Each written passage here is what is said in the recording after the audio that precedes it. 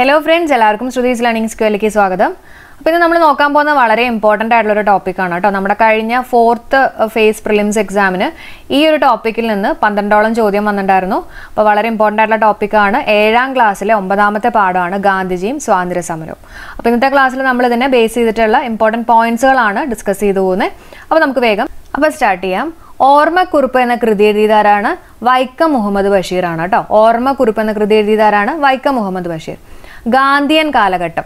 എത്ര ആയിരത്തി തൊള്ളായിരത്തി പത്തൊമ്പത് മുതൽ ആയിരത്തി തൊള്ളായിരത്തി നാൽപ്പത്തി ഏഴ് വരെയാണ് ഗാന്ധിയൻ കാലഘട്ടം എന്നറിയപ്പെടുന്നത്. അടുത്ത പോയിന്റ് നോക്കാം. ഗാന്ധിജി ദക്ഷിണാഫ്രിക്കയിൽ നിന്ന് ഇന്ത്യയിൽ തിരിച്ചെത്തിയിട്ടുള്ള ദിനം എന്നാണ്. ആയിരത്തി തൊള്ളായിരത്തി പതിനഞ്ച് ജാനുവരി ഒമ്പതിനാണ് കേട്ടോ. അപ്പോൾ ജാനുവരി ഒമ്പത് എന്താ? പ്രവാസി ഭാരതീയ ദിവസമായിട്ട് നമ്മൾ ആചരിക്കുന്നു. അത് ഗാന്ധിജി ദക്ഷിണാഫ്രിക്കയിൽ നിന്ന് ഇന്ത്യയിലേക്ക് തിരിച്ചെത്തിയിട്ടുള്ള ദിനമാണ് ആയിരത്തി തൊള്ളായിരത്തി പതിനഞ്ച് ജാനുവരി ഒമ്പത്. ഓർത്തു വയ്ക്കുക കേട്ടോ. അഹിംസയിൽ അധിഷ്ഠിതമായിട്ടുള്ള സത്യാഗ്രഹ മാർഗത്തിനായിട്ട് ഗാന്ധിജി സബർമതി ആശ്രമം സ്ഥാപിച്ചത് ഗുജറാത്തിലെ അഹമ്മദാബാദിലാണ്. അപ്പോൾ സബർമതി ആശ്രമം എവിടെയാണ്? ഗുജറാത്തിലെ അഹമ്മദാബാദ് എന്നുള്ളത് ഓർത്തു വയ്ക്കുക ഗാന്ധിജി നേതൃത്വപരമായി പങ്കുവഹിച്ച ആദ്യത്തെ സമരമേത ആയിരത്തി തൊള്ളായിരത്തി പതിനേഴിലെ ചമ്പാരൻ സമരമാണ് കേട്ടോ. അപ്പോൾ ഈ ചമ്പാരൻ സമരം എന്ന് പറയുന്നത് ബീഹാറിലെ ചമ്പാരനിൽ നീലം കർഷകരെ തോട്ടം ഉടമകളായിട്ടുള്ള വെള്ളക്കാർ ചൂഷണം ചെയ്തു. അപ്പോൾ അതിനെതിരെയായിട്ടാണ് ഈ ഒരു സത്യാഗ്രഹം നടന്നിട്ടുള്ളത്. ഓക്കെ അപ്പോൾ എന്റെ വർഷം പഠിച്ചു വെച്ചേക്കുക ആയിരത്തി തൊള്ളായിരത്തി പതിനേഴിലാണ് ചമ്പാരൻ സമരം നടന്നിട്ടുള്ളത് കേട്ടോ. ഗാന്ധിജി ഇന്ത്യയിൽ നടത്തിയുള്ള ആദ്യത്തെ നിരാഹാര സത്യാഗ്രഹം ഏതാണ്? ആയിരത്തി തൊള്ളായിരത്തി പതിനെട്ടിലെ അഹമ്മദാബാദ് തുണിമിൽ സമരമാണ് കേട്ടോ. ഓർത്തു വയ്ക്കുക ഗാന്ധിജി ഇന്ത്യയിൽ നടത്തിയുള്ള ആദ്യത്തെ നിരാഹാര സത്യാഗ്രഹം ആയിരത്തി തൊള്ളായിരത്തി പതിനെട്ടിലെ അഹമ്മദാബാദ് തുണിമിൽ സമരമാണ്. അപ്പോൾ എന്തിനു വേണ്ടിയിട്ടായിരുന്നു ഈ പറഞ്ഞിട്ടുള്ള നിരാഹാര സത്യാഗ്രഹം? ആയിരത്തി തൊള്ളായിരത്തി പതിനെട്ടിൽ ഗാന്ധിജി അഹമ്മദാബാദിലെ തുണിമിൽ തൊഴിലാളികളുടെ വേതന വർധനവിന് വേണ്ടിയിട്ടുള്ളായിരുന്നു ഈ ഒരു സമരം. അപ്പൊ ഗാന്ധിജി ഇന്ത്യയിൽ നടത്തിയുള്ള ആദ്യത്തെ നിരാഹാര സത്യാഗ്രഹമായിരുന്നു ഇതെന്നുള്ളത് ഓർത്തു വയ്ക്കുക ഗാന്ധിജി ഗുജറാത്തിലെ ഖേദയിൽ നികുതി നിഷേധ സമരത്തിന് നേതൃത്വം നൽകിയിട്ടുള്ള വർഷം ആയിരത്തി തൊള്ളായിരത്തി പതിനെട്ട് കേട്ടോ. അപ്പൊ ഈ വർഷം ഒന്നും മാറിപ്പോണ്ട ആയിരത്തി തൊള്ളായിരത്തി പതിനേഴ് നമ്മൾ നേരത്തെ എന്തായിരുന്നു പഠിച്ചിരുന്നത്? ചമ്പാരൻ സത്യാഗ്രഹം അല്ലെ? ആയിരത്തി തൊള്ളായിരത്തി പതിനെട്ട് ആദ്യത്തെ നിരാഹാര സത്യാഗ്രഹം എന്നുള്ളത് ഓർത്തു വയ്ക്കുക ഏതൊരു ഇന്ത്യക്കാരനെയും വാറന്റ് ഇല്ലാതെ അറസ്റ്റ് ചെയ്യാനും രഹസ്യ വിചാരണ നടത്താനും വിചാരണ കൂടാതെ ജയിലിലടയ്ക്കാനും ബ്രിട്ടീഷുകാർക്ക് അധികാരം നൽകുന്ന നിയമം ഏതാണെന്ന് ചോദിക്കുകയാണെങ്കിൽ റൗലറ്റ് നിയമമാണ് കേട്ടോ. അപ്പോൾ അത് ഇമ്പോർട്ടന്റ് ആണ്. എസ് സി ആർട്ടിൽ അതേപോലെ കൊടുത്തിട്ടുള്ള ഒരു കാര്യമാണ്. അതുപോലെ തന്നെ ഗാന്ധിജിയുടെ ആഹ്വാന പ്രകാരം റൗലറ്റ് നിയമത്തിനെതിരെ കരിദിനമായിട്ട് ആചരിച്ചിട്ടുള്ള ദിനം എന്നാണ് ചോദിക്കുകയാണെങ്കിൽ ആയിരത്തി തൊള്ളായിരത്തി പത്തൊമ്പത് ഏപ്രിൽ ആറിനാണ് കേട്ടോ. ഗാന്ധിജിയുടെ ആഹ്വാന പ്രകാരം റൗലറ്റ് നിയമത്തിനെതിരെ കരിദിനമായിട്ട് ആചരിച്ചിട്ടുള്ള ദിനമാണ് ആയിരത്തി തൊള്ളായിരത്തി പത്തൊമ്പത് ഏപ്രിൽ ആറ്. അടുത്ത പോയിന്റ് നോക്കാം. ജാലിയൻ വാലാബാഗിൽ ജനങ്ങൾ കൂട്ടം കൂടിയത് ആരുടെ അറസ്റ്റിനെ പ്രതിഷേധിക്കാൻ വേണ്ടിയായിരുന്നു? ഡോക്ടർ സത്യപാൽ അതുപോലെ തന്നെ ഡോക്ടർ സെയ്ഫുദ്ദീൻ കിച്ചലുമാണ് കേട്ടോ. അടുത്ത പോയിന്റ് ജാലിയൻ വാലാബാഗ് കൂട്ടക്കൊല നടന്ന ദിനം പഠിച്ചു വെച്ചേക്കണം ആയിരത്തി തൊള്ളായിരത്തി പത്തൊമ്പത് ഏപ്രിൽ പതിമൂന്നാണ്. ഓക്കെ ജാലിയൻ വാലാബാഗ് കൂട്ടക്കൊല നടന്നുള്ള ദിനം ആയിരത്തി തൊള്ളായിരത്തി പത്തൊമ്പത് ഏപ്രിൽ പതിമൂന്ന്. അടുത്ത പോയിന്റ് നോക്കാം. ജാലിയൻ വാലാബാഗ് കൂട്ടക്കൊലയിൽ പ്രതിഷേധിച്ച് ഗാന്ധിജി ബ്രിട്ടീഷുകാർക്ക് തിരികെ നൽകിയിട്ടുള്ള പദവി ഏതാണ്? കൈസറെ ഹിന്ദാണ് കേട്ടോ. അപ്പോൾ കൈസറെ ഹിന്ദ് പദവി തിരിച്ചു നൽകിയിട്ടുള്ള ആരാണ്? ഗാന്ധിജിയാണ്. അതേപോലെ തന്നെ ബ്രിട്ടീഷുകാർ നൽകിയിട്ടുള്ള സർ പദവി രവീന്ദ്രനാഥ് ടാഗോർ ഉപേക്ഷിച്ചു. ഇത് ഇമ്പോർട്ടന്റ് ആയിട്ട് ഒരു പോയിന്റ് ആണ്. അപ്പോൾ സർ പദവി ഉപേക്ഷിച്ചാരാണ് രവീന്ദ്രനാഥ് ടാഗോർ ആണ് കൈസറെ ഹിന്ദ് പദവി തിരിച്ചു നൽകിയിട്ടുള്ളത് ആരാണ്? ഗാന്ധിജിയാണ്. ഓക്കെ അപ്പോൾ ഇവിടെ ഒരു പോയിന്റും കൂടെ ഓർത്ത് വെക്കാം കേട്ടോ. അതായത് ജാലിയൻ വാലബാഗ് കൂട്ടക്കൊലയ്ക്ക് ഓർഡർ നൽകിയിട്ടുള്ള ആരാന്ന് ചോദിക്കുകയാണെങ്കിൽ ആരാണ്? ഓഡയർ ആണ് മൈക്കിൾ ഓഡയർ. അപ്പോൾ ഓർഡർ നൽകിയിട്ടുള്ളത് ഓ വെച്ചിട്ട് തന്നെ കേട്ടോ. ഓ ഡയർ എന്നുള്ള രീതിയിൽ ഓർത്ത് വയ്ക്കാം അപ്പോൾ ഇതിന് ദൃക്സാക്ഷിയായിട്ടുള്ളത് ഉദംസിംഗ് ആണ്. അപ്പോൾ വർഷങ്ങൾക്ക് ശേഷം അദ്ദേഹം ഇംഗ്ലണ്ടിൽ ചെന്നിട്ട് ഓഡയറിനെ വധിച്ചു എന്നുള്ളതാണ് കേട്ടോ. അങ്ങനെ ആയിരത്തി തൊള്ളായിരത്തി നാൽപ്പത് ജൂലൈ മുപ്പത്തി ഒന്നിനാണ് ഉധം സിംഗിന് വധശിക്ഷയ്ക്ക് വിധേയനാക്കിയിട്ടുള്ളത്. അപ്പോൾ ആ പോയിന്റ് കൂടെ ഓർത്ത് വയ്ക്കുക ഇന്ത്യയുടെ വടക്ക് കിഴക്കൻ പ്രദേശങ്ങളിൽ നിയമലംഘന സമരത്തിന്റെ ഭാഗമായിട്ട് പങ്കാളിയായ പതിമൂന്ന് വയസ്സുകാരി ആരാണ്? റാണി ഗേഡ്ലിനുമാണ് വളരെ ഇമ്പോർട്ടന്റ് ആണ്. ഗുരുവായൂർ സത്യാഗ്രഹം നടന്നിട്ടുള്ളത് ആയിരത്തി തൊള്ളായിരത്തി മുപ്പത്തി ഒന്നാണ് ആയിരത്തി തൊള്ളായിരത്തി മുപ്പത്തിരണ്ടിലെ പൂന സന്ധി ആരൊക്കെ തമ്മിലായിരുന്നു? ഗാന്ധിജിയും അംബേദ്കറും തമ്മിൽ കേട്ടോ. ഇനി പൂന സന്ധി എന്തുമായിട്ട് ബന്ധപ്പെട്ടിരിക്കുന്നു ചോദിക്കുകയാണെങ്കിൽ ബ്രിട്ടീഷുകാർ അധസ്ഥിതർക്ക് പ്രത്യേക സംവരണം ചെയ്യാൻ തീരുമാനിച്ചതുമായിട്ട് ബന്ധപ്പെട്ടിരിക്കുന്നു. അടുത്ത പോയിന്റ് മൂന്ന് വട്ടമേശ സമ്മേളനങ്ങളിലും അതിസ്ഥിരരെ പ്രതിനിധീകരിച്ച് പങ്കെടുത്തത് അംബേദ്കർ ആണ് വളരെ ഇമ്പോർട്ടന്റ് ആയിട്ടുള്ള ഒരു ചോദ്യമാണ്. മൂന്ന് വട്ടമേശ സമ്മേളനങ്ങളിലും അതിസ്ഥിരരെ പ്രതിനിധീകരിച്ച് പങ്കെടുത്താരാണ് അംബേദ്കർ ആണ് വട്ടമേശ സമ്മേളനങ്ങൾ നടന്നത് ലണ്ടനിലെ ജെയിംസ് പാലസിൽ വെച്ചാണ് കേട്ടോ. അതുപോലെ തന്നെ വർഷങ്ങൾ ഓർത്ത് വയ്ക്കുക ആയിരത്തി തൊള്ളായിരത്തി മുപ്പത് മുപ്പത്തി ഒന്ന് മുപ്പത്തിരണ്ടാണ്. ഇനി ഗാന്ധിജി പങ്കെടുത്ത വട്ടമേശ സമ്മേളനം ചോദിക്കുകയാണെങ്കിൽ രണ്ടാമത്തെ വട്ടമേശ സമ്മേളനമാണ് ആയിരത്തി തൊള്ളായിരത്തി മുപ്പത്തി ഒന്നാണെന്നുള്ളത് ഓർത്ത് വയ്ക്കുക. മൂന്ന് വട്ടമേശ സമ്മേളനങ്ങളിലും പ്രതിനിധീകരിച്ചിട്ടുള്ള ആരാന്ന് ചോദിക്കുകയാണെങ്കിൽ അംബേദ്കർ ആണ് ക്വിറ്റ് ഇന്ത്യ സമരം പ്രഖ്യാപിച്ച കോൺഗ്രസ് സമ്മേളനം ഏതാണ്? ആയിരത്തി തൊള്ളായിരത്തി നാൽപ്പത്തിരണ്ട് ഓഗസ്റ്റ് എട്ടിന് ബോംബെയിൽ നടന്ന അഖിലേന്ത്യാ കോൺഗ്രസ് സമ്മേളനമാണ് കേട്ടോ. അപ്പോൾ ക്വിറ്റ് ഇന്ത്യ സമരം പ്രഖ്യാപിച്ചിട്ടുള്ള കോൺഗ്രസ് സമ്മേളനം ആയിരത്തി തൊള്ളായിരത്തി നാൽപ്പത്തിരണ്ട് ഓഗസ്റ്റ് എട്ട് എന്നുള്ളത് ഓർത്തു വയ്ക്കുക. എവിടെയാണ് നടന്നിട്ടുള്ളത്? ബോംബെയിൽ നടന്ന അഖിലേന്ത്യാ കോൺഗ്രസ് സമ്മേളനം എന്നുള്ളത് ഓർക്കുക. പ്രവർത്തിക്കുക അല്ലെങ്കിൽ മരിക്കുക നാം ഇന്ത്യയെ സ്വാതന്ത്ര്യമാക്കും അല്ലെങ്കിൽ ആ ശ്രമത്തിൽ മരിക്കും. ഗാന്ധിജിയുടെ ഈ വാക്കുകൾ ഏത് സമരവുമായി ബന്ധപ്പെട്ടിരിക്കുന്നു? ഏതാണ്? ക്വിറ്റ് ഇന്ത്യ സമരം വർഷം ആയിരത്തി തൊള്ളായിരത്തി നാൽപ്പത്തിരണ്ട് ക്വിറ്റ് ഇന്ത്യ സമരത്തിന്റെ ഭാഗമായിട്ട് അറസ്റ്റ് ചെയ്തപ്പോൾ ഗാന്ധിജിയെയും ഭാര്യ കസ്തൂർബായും പാർപ്പിച്ചിട്ടുള്ള ജയിലേതാണ് ഏതാണ് ഇമ്പോർട്ടന്റ് ആണ്. പൂനെയിലെ ആഗാഖാൻ പാലസിലെ ജയിലാണ് കേട്ടോ. അപ്പോൾ കുഞ്ഞിന്റെ സമരത്തിന്റെ ഭാഗമായിട്ട് അറസ്റ്റ് ചെയ്തപ്പോൾ ഗാന്ധിജിയും ഭാര്യ കസ്തൂർബായും പാർപ്പിച്ചിട്ടുള്ള ജയിൽ ഏതാണ്? പൂനെയിലെ ആഗാഖാൻ പാലസിലെ ജയിൽ. അടുത്ത പോയിന്റ് നോക്കാം. കസ്തൂർബ ഗാന്ധി ആഗാഖാൻ ജയിലിൽ വെച്ച് മരണപ്പെട്ട ദിനം എന്നാണ് ആയിരത്തി തൊള്ളായിരത്തി നാൽപ്പത്തിനാല് ഫെബ്രുവരി ഇരുപത്തിരണ്ടിനാണ് കേട്ടോ. കസ്തൂർബ ഗാന്ധി ആഗാഖാൻ ജയിലിൽ വെച്ച് മരണപ്പെട്ട ദിനം എന്നാണ് ആയിരത്തി തൊള്ളായിരത്തി നാൽപ്പത്തിനാല് ഫെബ്രുവരി ഇരുപത്തിരണ്ട്. ക്വിറ്റ് ഇന്ത്യ സമര നായിക എന്ന് അരുണ ആസഫ് അലിയെ വിശേഷിപ്പിച്ച ആരാണ്? ഗാന്ധിജിയാണ്. ക്വിറ്റ് ഇന്ത്യ സമര നായിക എന്ന് അരുണ ആസഫലിയെ വിശേഷിപ്പിച്ച ആരാണ്? ഗാന്ധിജി. കേരളത്തിൽ കുറ്റിന്ത്യ സമരത്തിന്റെ ഭാഗമായിട്ട് ഹർത്താൽ ആചരിച്ച ദിനം കേരളത്തിലാണ് കേട്ടോ. ആയിരത്തി തൊള്ളായിരത്തി നാൽപ്പത്തിരണ്ട് ഓഗസ്റ്റ് ഒമ്പതിനാണ്. കേരളത്തിൽ കുറ്റിന്ത്യ സമരത്തിന്റെ ഭാഗമായിട്ട് ഹർത്താൽ ആചരിച്ചുള്ള ദിനം എന്നാണ് ആയിരത്തി തൊള്ളായിരത്തി നാൽപ്പത്തിരണ്ട് ഓഗസ്റ്റ് ഒമ്പത്. ക്വിറ്റ് ദിനം ഓഗസ്റ്റ് ഒമ്പതാണ്. കേരളത്തിൽ ക്വിറ്റ് ഇന്ത്യ സമരത്തിനനുബന്ധിച്ച് നടന്ന ഹർത്താലിന്റെ ഭാഗമായി അറസ്റ്റ് ചെയ്യപ്പെട്ട നേതാക്കൾ ആരൊക്കെയാണ്? ആരൊക്കെയാണ്? M P Narayana Menon K Kelappan E Moidu Moulavi അതുപോലെ തന്നെ എ വി കുട്ടിമാളുവമ്മ. നിങ്ങൾ എനിക്ക് രക്തം തരൂ ഞാൻ നിങ്ങൾക്ക് സ്വാതന്ത്ര്യം തരാം. ആരുടെ വാക്കുകളാണ്? സുഭാഷ് ചന്ദ്രബോസ്. വളരെ ഇമ്പോർട്ടന്റ് ആണ്. നിങ്ങൾ എനിക്ക് രക്തം തരൂ ഞാൻ നിങ്ങൾക്ക് സ്വാതന്ത്ര്യം തരാം. Okay Subhash Chandrabose. Indian national army എന്ന ആശയം ആരുടേതാണ്? ക്യാപ്റ്റൻ മോഹൻ സിംഗ് ആണ് കേട്ടോ. അപ്പോൾ ഐ എൻ എയുടെ ആശയം ആരുടേതാണെന്ന് ചോദിക്കുകയാണെങ്കിൽ captain Mohan Singh.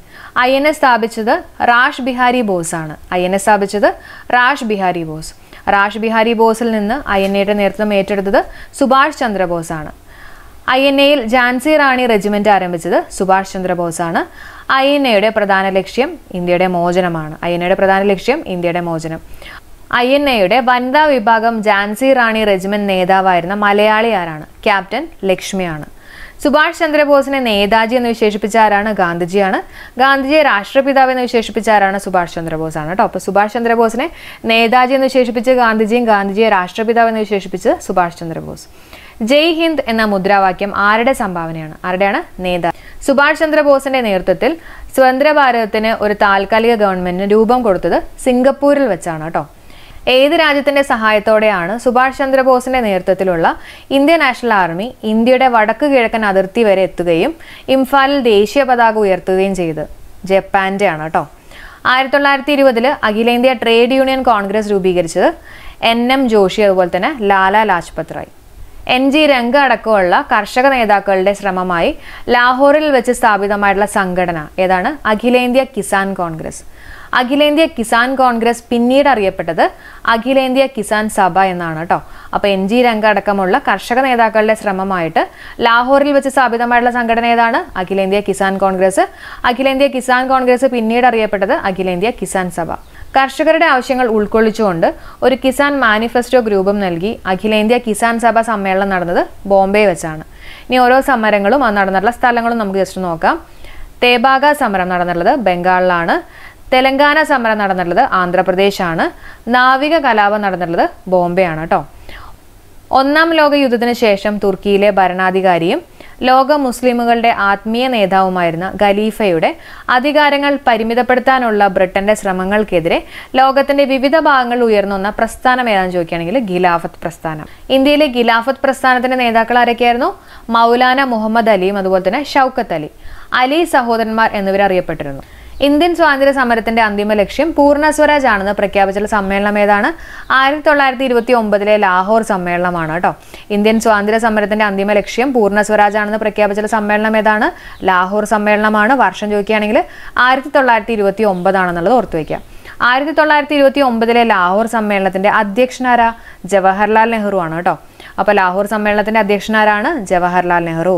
ഗാന്ധിജിയുടെ നേതൃത്വത്തിൽ സിവിൽ നിയമ ലംഘനം ആരംഭിക്കാൻ തീരുമാനിച്ചുള്ള സമ്മേളനം ഏതാണ്? ലാഹോർ സമ്മേളനമാണ്. ഏഴ് ലക്ഷം ഗ്രാമങ്ങളിലെ പത്ത് പേർ വീതം ഉപ്പ് കൂർക്കാൻ തുടങ്ങുകയാണെങ്കിൽ ഈ സർക്കാരിന് എന്ത് ചെയ്യാൻ കഴിയും? നിങ്ങൾക്ക് ഊഹിക്കാവുന്നതിൽ ഏറ്റവും നീചനായിട്ടുള്ള സ്വേച്ഛാധിപതി പോലും സമാധാനപരമായി നിയമം ലംഘിക്കുന്ന ജനതയെ പീരങ്കി കൊണ്ട് നേരിടാൻ ഊറ്റം കാണിക്കില്ല. നിങ്ങൾ ഒരല്പം സ്വയം മാറാൻ തയ്യാറായാൽ നമുക്ക് ഈ സർക്കാരിനെ കുറഞ്ഞ സമയം കൊണ്ട് ക്ഷീണിപ്പിക്കാൻ കഴിയുമെന്ന് ഞാൻ നിങ്ങൾക്ക് ഉറപ്പ് നൽകുന്നു. ഇപ്രകാരം പറഞ്ഞ ആരാണ്? ഗാന്ധിജിയാണ്. ഓക്കെ.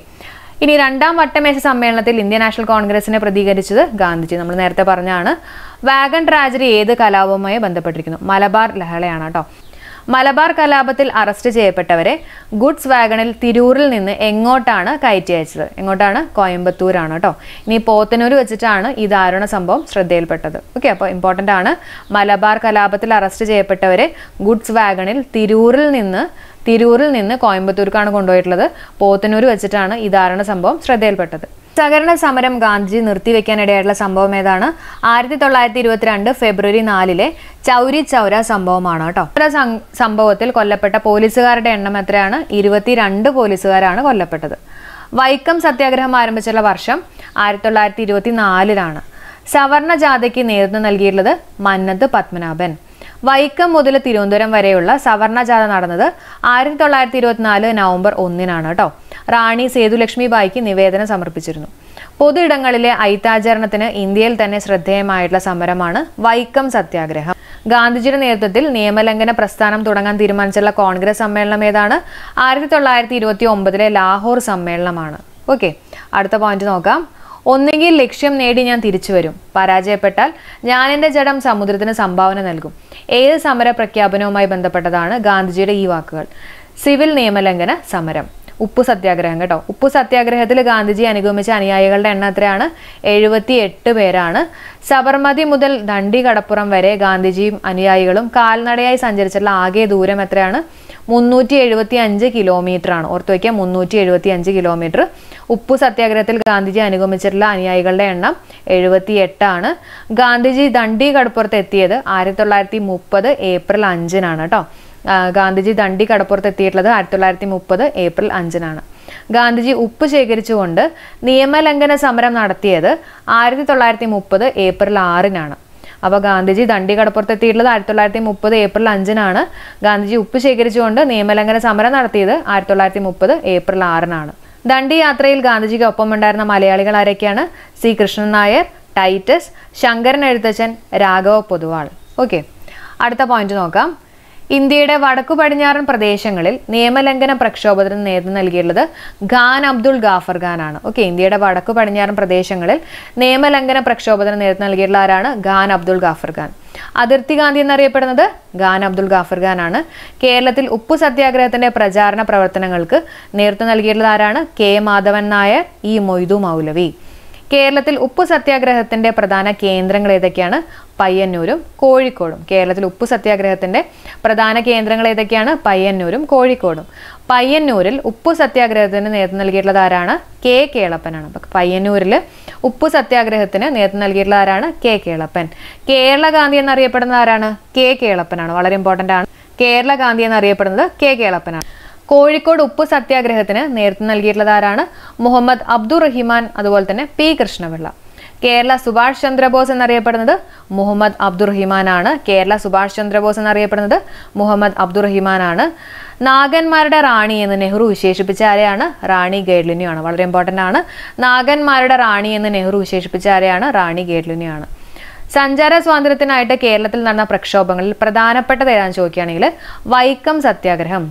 സഞ്ചാര സ്വാതന്ത്ര്യത്തിനായിട്ട് കേരളത്തിൽ നടന്ന പ്രക്ഷോഭങ്ങളിൽ പ്രധാനപ്പെട്ടത് ഏതാണെന്ന് ചോദിക്കുകയാണെങ്കിൽ വൈക്കം സത്യാഗ്രഹം. വൈക്കം സത്യാഗ്രഹത്തിന് നേതൃത്വം നൽകിയിട്ടുള്ളത് ടി കെ മാധവനാണ്. വൈക്കം സത്യാഗ്രഹത്തിന് നേതൃത്വം നൽകിയിട്ടുള്ള ആരാണ്? ടി കെ മാധവനാണ്. വൈക്കം സത്യാഗ്രഹത്തോട് അനുഭാവം പ്രകടിപ്പിച്ച് സവർണ ജാഥ നടത്തിയതാര മന്നത്ത് പത്മനാഭൻ. വൈക്കം സത്യാഗ്രഹത്തോട് അനുഭാവം പ്രകടിപ്പിച്ച് സവർണ ജാഥ നടത്തിയതാരാണ് മന്നത്ത് പത്മവായൂർ സത്യാഗ്രഹത്തിന് നേതൃത്വം നൽകിയിട്ടുള്ളത് കെ കേളപ്പനാണ് കേട്ടോ. ഗുരുവായൂർ സത്യാഗ്രഹത്തിന് നേതൃത്വം നൽകിയിട്ടുള്ളത് ആരാണ്? കെ കേളപ്പൻ. ഗുരുവായൂർ സത്യാഗ്രഹം നടന്നത് ഏതാണ്? ആയിരത്തി തൊള്ളായിരത്തി മുപ്പത്തി ഒന്നിലാണ്. അപ്പൊ ആയിരത്തി തൊള്ളായിരത്തി മുപ്പത്തി ഒന്നിൽ നടന്നിട്ടുള്ള ഗുരുവായൂർ സത്യാഗ്രഹത്തിന് നേതൃത്വം നൽകിയിട്ടുള്ള ആരാൻ ചോദിക്കുകയാണെങ്കിൽ കെ കേളപ്പനാണ് ഗുരുവായൂർ സത്യാഗ്രഹത്തിന്റെ വോളണ്ടിയർ ക്യാപ്റ്റൻ ആരാണ് എ കെ ഗോപാലനാണ്. ഗുരുവായൂർ സത്യാഗ്രഹത്തിൽ ക്രൂരമായ മർദ്ദനമേറ്റിട്ടുള്ള നേതാവ് ആരാണ് പി കൃഷ്ണപിള്ളയാണ്. അപ്പൊ പി കൃഷ്ണപിള്ളയ്ക്കാണ് ഗുരുവായൂർ സത്യാഗ്രഹത്തിൽ ക്രൂരമായിട്ടുള്ള മർദ്ദനമേറ്റത് തിരുവിതാംകൂർ ക്ഷേത്രപ്രവേശന വിളംബരം നടന്നത് ആയിരത്തി തൊള്ളായിരത്തി മുപ്പത്തി ആറ് നവംബർ പന്ത്രണ്ടിനാണ് കേട്ടോ തിരുവിതാംകൂർ ക്ഷേത്രപ്രവേശന വിളംബരം നടന്നത് ആയിരത്തി തൊള്ളായിരത്തി മുപ്പത്തി ആറ് നവംബർ പന്ത്രണ്ടിന്. മലബാർ ജില്ലാ കോൺഗ്രസിന്റെ പ്രഥമ സമ്മേളനം നടന്നത് ആയിരത്തി തൊള്ളായിരത്തി പതിനാറിൽ പാലക്കാട് വെച്ചാണ് കേട്ടോ ഇനി മലബാർ ജില്ലാ കോൺഗ്രസിന്റെ പ്രഥമ സമ്മേളനത്തിന്റെ അധ്യക്ഷ ആരാണ്? ആനി ബസന്റ് ആണ്. ആരാണ്? Annie Besant.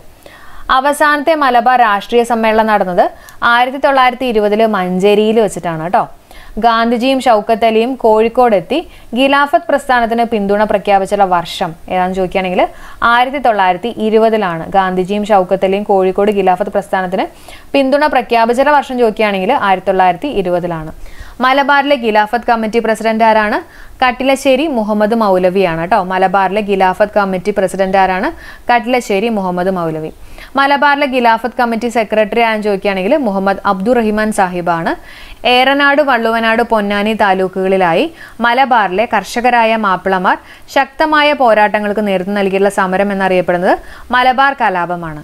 മലബാർ കലാപം നടന്നിട്ടുള്ള വർഷം ആയിരത്തി തൊള്ളായിരത്തി ഇരുപത്തി ഒന്നാണെന്നുള്ളത് ഓർക്കുക കേട്ടോ. നിയമലംഘന പ്രസ്ഥാനത്തിന് പയ്യന്നൂരിൽ നേതൃത്വം നൽകിയിട്ടുള്ളത് ആരാണ്? കെ കേളപ്പനാണ്. നിയമലംഘന പ്രസ്ഥാനത്തിന് കോഴിക്കോട് നേതൃത്വം നൽകിയിട്ടുള്ളത് ആരാണ്? മുഹമ്മദ് അബ്ദുറഹ്മാനാണ്. ഗാന്ധിജി നിയമലംഘന പ്രസ്ഥാനം പിൻവലിച്ചതിൽ പ്രതിഷേധിച്ച് കേരളത്തിലെ കോൺഗ്രസ് പ്രവർത്തകരിൽ ഒരു വിഭാഗം സോഷ്യലിസ്റ്റ് പാർട്ടിക്കാരായി മാറിയത് ആയിരത്തി തൊള്ളായിരത്തി മുപ്പത്തിനാലിലാണ് ഓക്കെ. ഓക്കെ അപ്പോൾ ഇന്നത്തെ ക്ലാസ് നമ്മൾ ഇവിടെ വെച്ച് വൈൻഡ് അപ്പ് ചെയ്യാണ്. അപ്പോൾ S C R T base ചെയ്തിട്ടുള്ള ഇമ്പോർട്ടന്റ് ആയിട്ടുള്ള പോയിന്റ്സുകൾ നമ്മൾ ഇന്നത്തെ ക്ലാസ്സിൽ ഡിസ്കസ് ചെയ്തിട്ടുണ്ട്. അതുപോലെ തന്നെ നവകേരള സൃഷ്ടിക്കുക എന്ന് പറഞ്ഞിട്ടുള്ള ഒരു വീഡിയോ ഞാൻ മുമ്പ് ചെയ്തിട്ടുണ്ടായിരുന്നു. അതിലും നമ്മൾ ഇമ്പോർട്ടന്റ് ആയിട്ടുള്ള ഒരുപാട് പോയിന്റ്സുകൾ ഡിസ്കസ് ചെയ്തിട്ടുണ്ട്. അപ്പോൾ അതിൽ വന്നിട്ടുള്ള പോയിന്റ്സ് ഞാൻ ഇതിനകത്ത് ഇൻക്ലൂഡ് ചെയ്തിട്ടില്ല കേട്ടോ. അപ്പോൾ ആരെങ്കിലും കാണാത്തവരുണ്ടെങ്കിൽ തീർച്ചയായിട്ടും നിങ്ങൾ ആ ഒരു വീഡിയോ കൂടെ കാണാൻ ശ്രമിക്കുക. അപ്പോൾ അതിന്റെ ലിങ്ക് ഞാൻ ഡിസ്ക്രിപ്ഷനിൽ കൊടുക്കാം. അപ്പോൾ ഇന്നത്തെ ക്ലാസ് നിങ്ങൾക്ക് യൂസ്ഫുൾ ആയിട്ട് തോന്നിയെങ്കിൽ തീർച്ചയായിട്ടും ലൈക്ക് ചെയ്യാനും അതുപോലെ തന്നെ ഫ്രണ്ട്സിന്റെ അടുത്ത് ഷെയർ ചെയ്യാനും സബ്സ്ക്രൈബ് ചെയ്യാനും മറക്കല്ലേ? സബ്സ്ക്രൈബ് ചെയ്ത് കഴിഞ്ഞിട്ട് നോട്ടിഫിക്കേഷനിൽ ഓൾ കൊടുത്തിട്ടുണ്ടെന്നും കൂടെ ശ്രദ്ധിക്കുക കേട്ടോ. അപ്പോൾ അടുത്ത് നമ്മൾ ചെയ്യാൻ പോണ മാത്സിന്റെ വീഡിയോ ആണ്. അപ്പോൾ നമുക്ക് അടുത്ത വീഡിയോയിൽ കാണാം. എല്ലാവർക്കും ബൈ താങ്ക് ഫോർ സപ്പോർട്ടിങ്